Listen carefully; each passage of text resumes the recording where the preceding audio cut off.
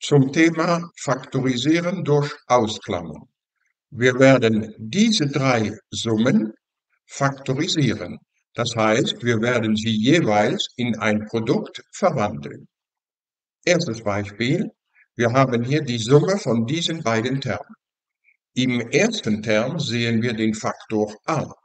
Im zweiten ist er aber auch versteckt, denn a Quadrat, das ist a mal a. Im zweiten Term sehen wir diesen Faktor x. Der ist auch im ersten Term versteckt, denn x Quadrat, das ist x mal x.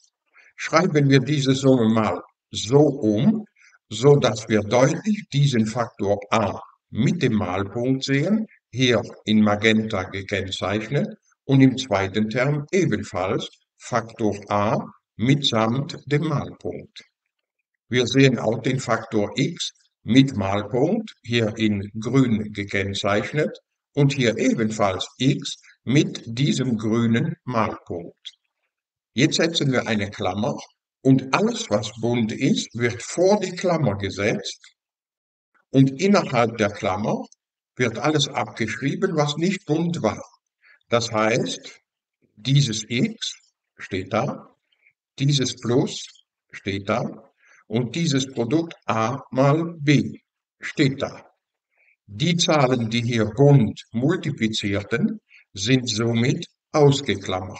Und jetzt haben wir effektiv ein Produkt von 1, 2, 3 Faktoren. Das heißt, wir haben diese Summe effektiv faktorisiert und das durch Ausklammern. Machen wir dasselbe im zweiten Beispiel. Hier ist es die Differenz von diesen zwei Termen. Im ersten Term sehen wir deutlich 3x und diese Zahl multipliziert. Im zweiten Term sehen wir aber auch 3x Die 3 ist da und das x ist in x hoch 3 versteckt, denn x hoch 3, das ist x mal x. Am Anfang schreiben wir die gemeinsamen Faktoren bunt hier beide in Magenta, mitsamt dem Malpunkt. Und alles, was Magenta ist, wird jetzt vor eine Klammer einmal gesetzt, mitsamt dem Malpunkt. Und zwischen Klammern schreiben wir alles ab, was hier nicht bunt ist. Das heißt, diese Klammer x minus 1, dann das Minuszeichen und noch das Produkt x mal y. Was zwischen Klammern ist, können wir noch etwas vereinfachen. Und somit haben wir diese Differenz ebenfalls in ein Produkt verwandelt. Wir haben diese Differenz also faktorisiert und das durch Ausklammern. Drittes Beispiel. Hier haben wir die Summe von diesem Term und von diesem Term. Jetzt suchen wir in beiden Termen gemeinsame Faktoren. Das sind die 2. Die ist auch da in der 4 versteckt, denn 4 ist dasselbe wie 2 mal 2. Hier steht die Klammer x plus 1. Die ist auch da versteckt, denn x plus 1 im Quadrat, das ist x plus 1 mal x plus 1. Und hier sehen wir 3x minus 5 im Quadrat. Dieses Quadrat ist auch hier versteckt, denn 3x minus 5 hoch 3, das ist 3x minus 5 hoch 2 mal 3x minus 5 hoch 1. Also schreiben wir diese Summe in diese Form um, so dass wir die gemeinsamen Faktoren von beiden Termen deutlich erkennen können. Hier steht zweimal in Magenta, im zweiten Term auch. Hier steht die Klammer x plus 1 mit dem Malpunkt in grün, im zweiten Term aber auch.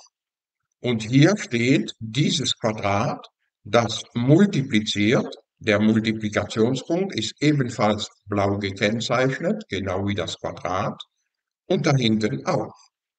Jetzt setzen wir eine Klammer und alles, was bunt ist, schreiben wir einmal vor diese Klammer. Und zwischen Klammer wird einfach abgeschrieben, was hier nicht bunt ist. Das heißt, diese Klammer 3x minus 5, da steht sie, dieses Pluszeichen da steht, dann zweimal, zweimal und dann hinten dran noch diese Klammer x plus 1. Jetzt werden wir ausrechnen, was hier zwischen Klammern ist. Ist gemacht, indem wir diese Klammern fallen gelassen haben, das dürfen wir, die dienen hier zu nichts mehr, und indem wir diese zwei hier verteilt haben. 3x plus 2x, das macht 5x, und minus 5 plus 2 macht minus 3.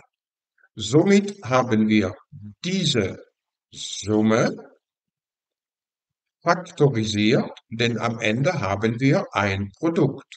Wir haben 2 mal diese Klammer mal dieses Quadrat mal diese Klammer. Um zu überprüfen, ob man gut faktorisiert hat, kann man, wie zum Beispiel hier die Antwort nehmen und das Ganze rückgängig machen. Das heißt, wir verteilen 3x auf diese Klammer und werden dann mit und mit auf diese Antwort stoßen.